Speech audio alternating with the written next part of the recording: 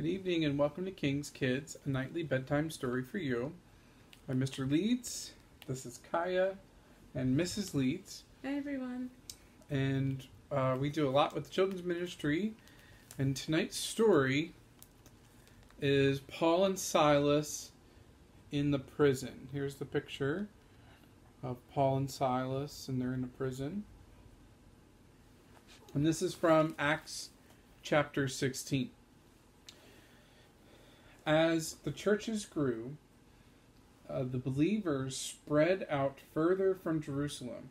Diligent missionaries were filling Jesus' commission to take the gospel to the whole world. Paul and Silas traveled far away to Philippi in northern Greece. There, they taught some people who often gathered beside the river to pray. One day, Paul and Silas met a slave girl who brought her masters much money by fortune telling. It grieved Paul's heart to know that an evil spirit was working through her. That means it made him really sad. Uh, so he told the evil spirit, I command thee in the name of Jesus to come out of her. At once the spirit left her. Now the girl's owners were angry because their source of easy money was gone. So they seized Paul and Silas and dragged them to the judge. These men are Jews, they cried. They're stirring up trouble by teaching customs contrary to Roman laws. Soon a mob joined the attack. Paul and Silas were whipped publicly and thrown into the innermost dungeon of the prison. Paul and Silas were peaceful and happy in spite of their painful bruises and bleeding backs. At midnight, they prayed and sang songs to the Lord. Never before had the other prisoners heard anything like this. Suddenly, a violent earthquake shook the prison to its very foundation. The doors flew open and the chains of every prisoner fell off. Truly, God was answering prayer. The jailer woke up and saw the open doors. He was terrified, thinking the prisoners had all escaped. Surely he would be blamed for carelessness. In despair, he drew his own sword to kill himself. Then Paul called out, Don't harm yourself, for we are all here. The jailer called for a light, and he fell down before Paul and Silas, trembling. What must I do to be saved? He asked. Believe on the Lord Jesus Christ, then you and your household will be saved, they replied. What a night it was for the jailer and his family. After tending to the wounds of Paul and Silas, the whole family was baptized. Then a delicious meal was served, with everyone rejoicing in their new faith in the Lord Jesus.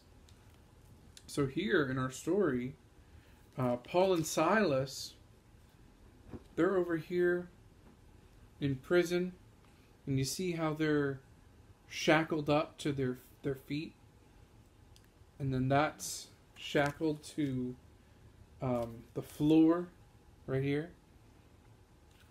That's that's pretty tough, and they were shackled up all because they just told a spirit, a demon, to get out of this girl, and the people were really upset about it because they couldn't use her anymore to tell futures and things like that.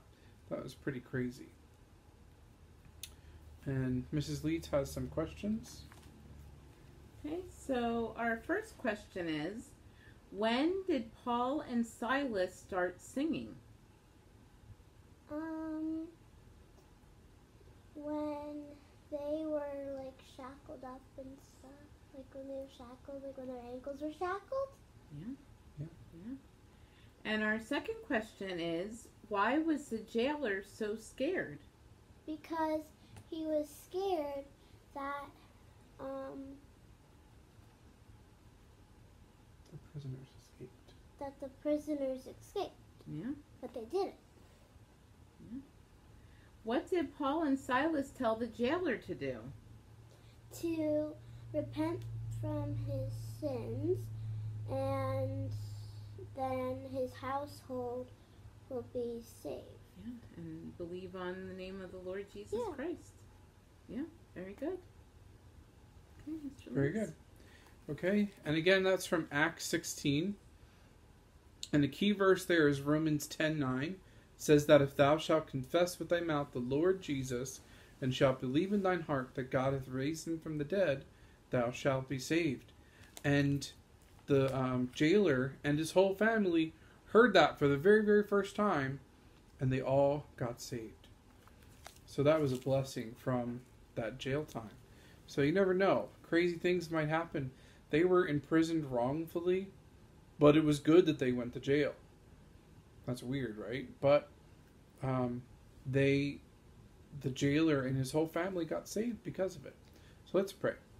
Dear Heavenly Father, thank you, Lord, for today. Thank you, God, for uh, this lesson time and the story time. Lord, we pray that uh, you just help us all to learn uh, a blessing from this um, story, Lord, to learn that even in the hard times, Lord, there might be a reason why uh, we're there. It might be to help others and help us to be focused on that, Lord, in Jesus' name. Amen. All right, and remember 1 Peter 2 9, you are a king's care. Good night. Good night. Bye.